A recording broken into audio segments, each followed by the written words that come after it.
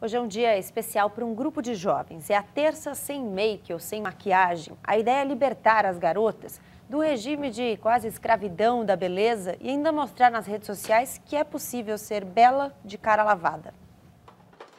Hoje, as gavetas de maquiagem vão ficar fechadas.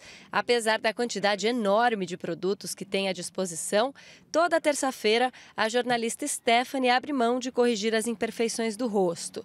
Dispensar o ritual representa muito mais que economia de tempo. Além de ser um dia que você deixa a sua pele respirar e sem aquele monte de coisa e tudo mais, acho que é um dia que você diz assim: ah, eu me gosto assim.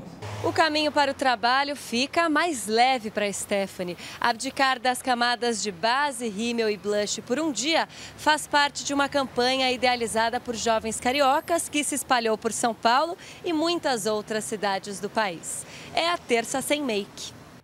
O estímulo veio de várias personalidades brasileiras e internacionais. A modelo Gisele Bündchen, as atrizes Giovanna Bank, Cameron Diaz e Drew Barrymore e a cantora Demi Lovato são apenas algumas das famosas que posaram com o rosto limpo para mostrar que não existe perfeição.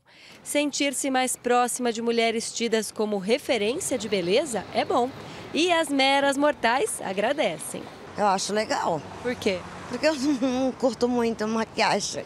Interessante, né? Mostrar a naturalidade da mulher.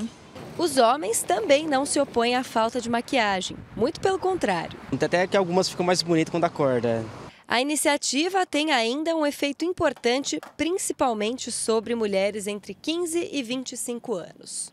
Cada pessoa é um ser único e, e não é só beleza, nós somos, somos um todo organizado.